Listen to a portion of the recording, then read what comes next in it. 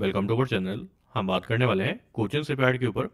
फ़िलहाल हम currently daily chart पर हैं। हमारे मेंबर्स ने ही रिक्वेस्ट किया है। तो ऐसे किसी भी स्टॉक पर आपको भी एनालिसिस चाहिए। स्टॉक का नाम आप कमेंट कर सकते हो। इंडेक्स एनालिसिस के लिए आप हमारा टेलीग्राम चैनल ज्वाइन कर सकते हैं। इसका लिंक डिस्क्रिप्शन चैनल के अबाउट बॉक्स में दिया हुआ है। इस टाइप के डेली फ्री लर्निंग ट्रेड्स वहाँ पर आपको मिल जाएँगे।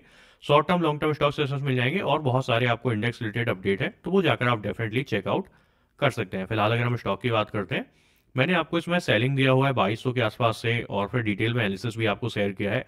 यहाँ पर भी नेगेटिव आपको मैंने कहा था कि सपोर्ट नहीं लेगा। आने वाले टाइम में चौदह सौ, तेरह सौ का लेवल मिल सकता है। ये सारा एनालिसिस हो चुका है। अभी के टाइम में देखोगे वहाँ से करीब 40 परसेंट डाउन होगा टॉप से आई थिंक 55 परसेंट के आसपास डाउन है। 60 परसेंट के आसपास जाने वाला है। ये चीज़ें सारी कंप्लीट हो चुकी हैं। फ़िलहाल अभी लेवल अगर हम बात करें, जो करंट लेवल्स है, बहुत सारे लोगों को डाउट हो जाता है या मतलब समझ नहीं पाते हैं उसको कि क्या करना है। तो अगर हम सिंपल समझते हैं अभी करंट लेवल के अकॉर्डिंग तो फ़िलहाल स्टॉक अंडर वैल्यू ट्रेड कर रहा है, ये बहुत क्लियर है।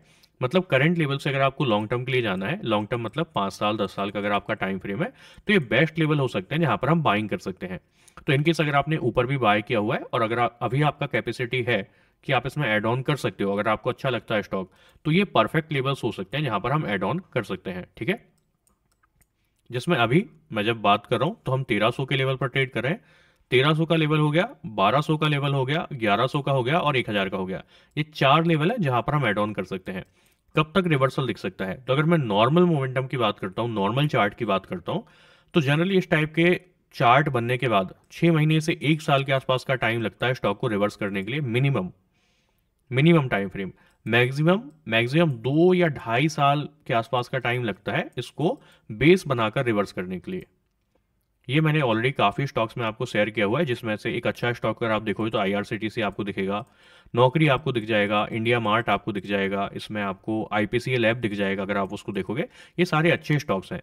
इनको जाकर देखना, इनमें भी 2021 के आसपास सेलिंग आया था और सबका सेम कंडीशन है। और भी बहुत सारे स्टॉक्स हैं बट एक कुछ अच्छे स्टॉक्स हैं जिनके फंडामेंटल्स अच्छे हैं, जिनका फ्यूचर अच्छा है ग्रोथ अच्छा देख सकते हैं हम। ये सेम टाइप के स्टॉक हैं। तो इनको जाकर चेकआउट करना तो आपको समझ में आएगा मोमेंटम कैसे रिवर्स करता है। हो सकता है इसमें सार्प मोमेंटम हो जाए, कुछ स्टॉक में सार्प मोमेंटम भी हो जाता है बट जनरली बहुत कम होता है ऐसा, ठीक है? तो अगर हम ओवरऑल बात करते हैं, जहाँ से सेलिंग आया है तो करीब अभी अगर आप देखो, छह महीने का टाइम फ्रेम और यहाँ पर हो चुका है। छह महीने हो सकता है इस रेंज में साइड में जाए तो हो गया एक साल, फिर हो सकता है आपको एक रिवर्सल देखने के लिए मिल जाए। रिवर्सल भी जब होगा क्विक रिवर्सल नहीं होगा। अगर क्विक या सार्फ रिवर्सल होता है तो वो बहुत ज़्यादा टाइम सस्टेन नहीं करेगा। तो अगर आप मिड टर्म प्लान कर रहे हो तो मोमेंटम देख लेना। अगर सार्फ मोमेंटम में जाएगा तो फिर वो ज़्यादा टाइम सस्टेन नहीं करेगा। तो स्टॉप लॉस बहुत स्ट्रिक्टली ट्रेल करना वहाँ पर, ठीक है? अपनी पोजिशन को ट्रेल करते हुए जाना, जिससे कि जब भी रिवर्स हो तो वहाँ से आपका लॉस ना हो और वहाँ से आप अच्छा प्रॉफिट बुक करके निकल पाए, ठीक है?